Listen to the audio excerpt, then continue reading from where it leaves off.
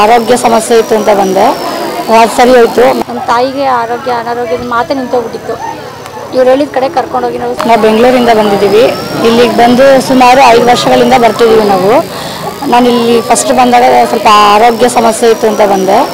ಅದು ಸರಿ ಹೋಯ್ತು. ಮತ್ತು ಗಂಡ ಹೆಂಡತಿ ಸಮಸ್ಯೆ ತುಂಬ ಇತ್ತು. ಡೈವರ್ಸ್ ಬೇಕೇ ಬೇಕು ನನಗೆ ಬಿಡುಗಡೆ ಬೇಕು ನನ್ನ ಗಂಡನ ಜೊತೆಗೆ ನನಗೆ ಬಾಳೋದಕ್ಕೆ ಇಷ್ಟ ಇಲ್ಲ, ತುಂಬ ಹಿಂಸೆ ಕೊಡ್ತಿದ್ರು. ಬೇಡ ನನಗೆ ಅಂತ ಹೇಳಿದೆ. ರಾಜೇಶ್ ಒಂದೇ ಮಾತು ಹೇಳಿದ್ರು.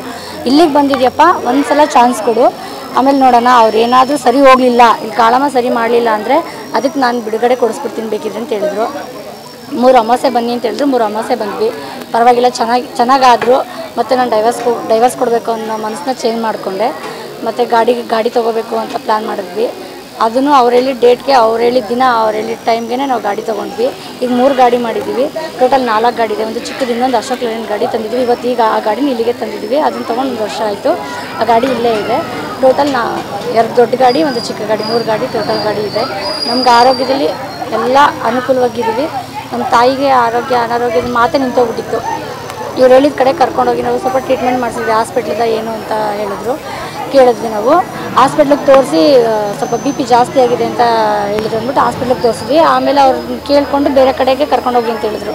ನಮ್ಮ ತಾಯಿನ ಕರ್ಕೊಂಡೋದ್ವಿ ಮೂರು ದಿನದಲ್ಲಿ ಮಾತಾಡ್ತಾರೆ ಅಂತ ಹೇಳಿದ್ರು.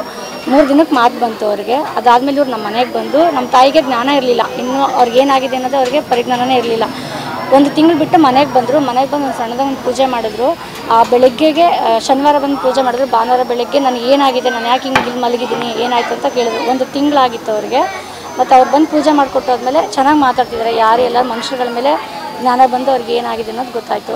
ಇಲ್ಲಿಗೆ ಬಂದಾಗಿಂದ ತುಂಬ ಅನುಕೂಲವಾಗಿದೆ. ಐದು ವರ್ಷಗಳಿಂದ ಬರ್ತಿದ್ದೀನಿ. ಕಷ್ಟ ಅನ್ನೋದಿಲ್ಲ.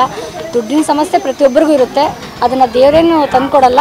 ಕಷ್ಟಪಟ್ಟು ದುಡಿಬೇಕು. ದುಡ್ಡಿನ ಸಮಸ್ಯೆ ಸ್ವಲ್ಪ ಇದೆ. ಅದನ್ನು ಬಗೆಹರಿಸ್ಕೊಡ್ತಾಳೆ ತಾಯಿ ನನಗೆ. ಎಲ್ಲ ಒಳ್ಳೆಯದಾಗಿದೆ ಕಾಳಮ್ಮನ ಬಿಟ್ಟು ನನಗೆ ಬೇರೆ ಪ್ರಪಂಚ ಇಲ್ಲ. ನನ್ನ ಮನೆ ದೇವರು ಕೋಲಾರಮ್ಮ. ಆ ತಾಯಿಗೆ ಒಂದು ಅಪ್ಪಣೆ ತಗೊಂಡು ನಾನು ಇಲ್ಲಿ ಬಂದು ನಾನು ಹೋಗ್ತಿದ್ದೀನಿ. ತಾಯಿ ಕೋಲಾರಮ್ಮ ಶ್ರೀ ಕಳಿಕಾದೇವಿ. ಅಷ್ಟು ಬಿಟ್ಟು ಬೇರೆ ಏನೂ ಗೊತ್ತಿಲ್ಲ ನನಗೆ. ಓಂ ಶ್ರೀ ತಾಯಿ ಕಾಳಿಕಾದೇವಿ ನಮಃ.